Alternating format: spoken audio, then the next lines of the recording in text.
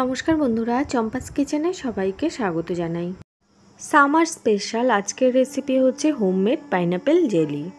বছরের এই সময়টা কিন্তু প্রচুর পরিমাণে পাকা আনারস পাওয়া যায়।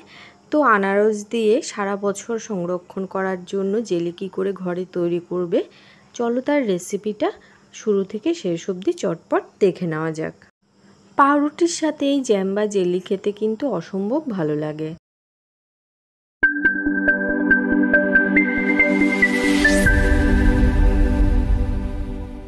এর জন্য প্রথমেই দেখো, এখানে আমি ভালো করে ধুয়ে একটা পাকা বড় আনারস নিয়ে নিয়েছি।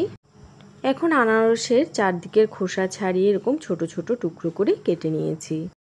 আনারসের মাঝখানে শক্ত অংশটা কিন্তু আমি নিয়ে নিয়ে ওটা ফেলে দিয়েছি। এখন এই ছোট ছোট করে কেটে নেওয়া পাকা আনারসটাকে একটা বড় মিক্সিং জারের মধ্যে ঢেলে নিচ্ছি। মিক্সিং জারে যেহেতু ব্লেন্ড করে নিচ্ছি, তাই আনারসগুলোকে ছোট করে কেটে নিলে বেশি ভালো হবে। খুব সামান্য টু টেবিল স্পুন পরিমাণ জল দিয়ে দিলাম। এবারে মিক্সিং জারের ঢাকাটা বন্ধ করে এগুলোর একটা মিহি পেস্ট করে নেব। খুব বেশি জল দেওয়ার কিন্তু দরকার নেই, আনারসের যেহেতু একটা নিজস্ব রস আছে, তাই সামান্য পরিমাণ জল দিলে চলবে। এবারে একটা বড় ছাকনির সাহায্যে ব্লেন্ড করা আনারসের জুসটাকে ভালো করে ছেঁকে নেব।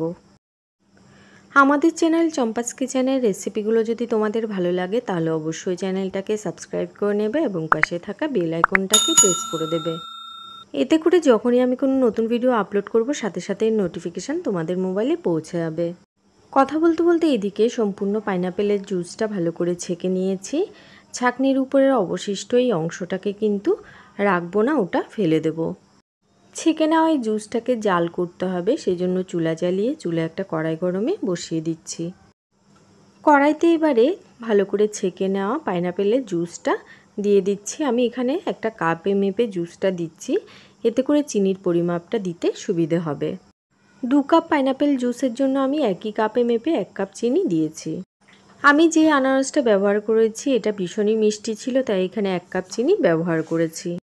তোমরা যদি কাঁচা আনারস দিয়ে এই জেলিটা বানাও, সেক্ষেত্রে যতটা পরিমাণ রস হবে তার ঠিক সম পরিমাণ চিনি কিন্তু ব্যবহার করতে হবে। তাহলে জেলিটা কিন্তু একদম পারফেক্ট তৈরি হবে। কথা বলতে বলতে এদিকে আমি আনারসের রসটাকে খুব ভালো করে জাল করে নিয়েছি।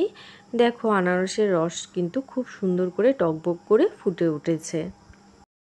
এইভাবে আনারসের রসটাকে ভালো করে জাল করে নিতে হবে আর চিনিও কিন্তু সম্পূর্ণ গুলে গেছে। আনারসের রস, জাল দেওয়ার এই সম্পূর্ণ কাজটা কিন্তু মিডিয়াম টু লো ফ্লেমেই করতে হবে।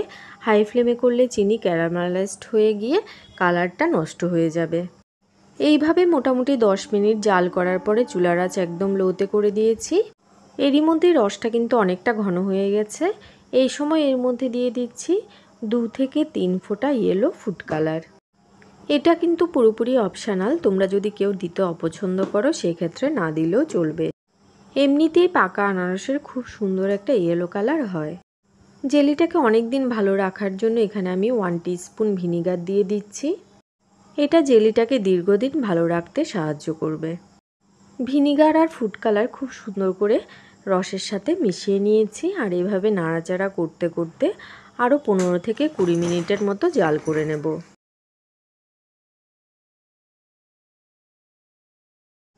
দেখো বন্ধুরা, এইভাবে কিছুক্ষণ জাল করার পরে রস কিন্তু অনেকটা ঘন হয়ে গেছে আর আনারসের রস থেকে বড় বড় বুদবুদ উঠতে শুরু হয়েছে। এর মানে বুঝতে হবে চিনির শিরার পাক কিন্তু এসে গেছে। চিনির শিরার পাক ঠিকঠাক এসছে কিনা দেখার জন্য এভাবে একটুখানি রসকে নিয়ে দু আঙ্গুলের মাঝখানে রেখে দেখে নেবে যদি একতারার মতো সুতোর সৃষ্টি হয়, তার মানে বুঝতে হবে জেলিটা পারফেক্টলি জমে গেছে। এখনও পুরোপুরি সুতোর মতো হয়নি। আরও দু থেকে তিন মিনিটের মতো রসটাকে লো ফ্লেমে জাল করে নিচ্ছি। তোমরা চাইলে কিছুটা রস এভাবে একটা প্লেটে নিয়ে চারদিকে ঘুরিয়ে দেখতে পারো। যদি রসটা এক জায়গায় স্থির থাকে, তার মানে জেলিটা কিন্তু পারফেক্টলি ঘন হয়ে গেছে। লো ফ্লেমে মোটামুটি আমি 30 মিনিটের মতো আনারসের জেলিটাকে জাল করে নিয়েছি। এখন এটা কিন্তু নামানোর জন্য একদম রেডি এই সময় আমি গ্যাসের ফ্লেমটা অফ করে দিলাম। আর জেলিটা এরকম গরম থাকা অবস্থাতেই কিন্তু কাচের পাত্রে ঢেলে নেবে।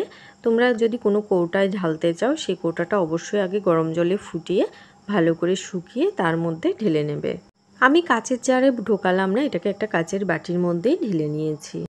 জেলিটা কিন্তু এখনও পুরোপুরি গরম, তো নর্মাল টেম্পারেচারে রেখে জেলিটাকে পুরোপুরি ঠান্ডা করে নিতে হবে। আর গরম অবস্থাতেই কিন্তু যে পাত্রে ঢালবে, সে পাত্রে তোমরা এটা ঢুকিয়ে নেবে। ঠান্ডা হয়ে জমে গেলে কিন্তু তখন আর ঢোকানো যাবে না। জেলি পুরোপুরি ঠান্ডা হয়ে যাওয়ার পরে ফিরে এসেছি, দেখো জেলি কিন্তু বাটির মধ্যে খুব সুন্দর করে সেট হয়ে গেছে। জেলিটাকে কিন্তু আমি এখনও ফ্রিজে রাখিনি। ফ্রিজে রাখলে এটা আরও অনেকটা ঘন হয়ে বসে যাবে। তো বন্ধুরা, আজকের আমার সহজ সরল ঘরোয়া পদ্ধতিতে তৈরি করা আনারসের জেলির এই রেসিপিটা তোমাদের কেমন লাগল অবশ্যই কমেন্ট করে জানাবে। ভালো লাগলে লাইক করবে আর তোমার বন্ধুদের সাথে ভিডিওটাকে শেয়ার করতে কিন্তু একদম ভুলবে না।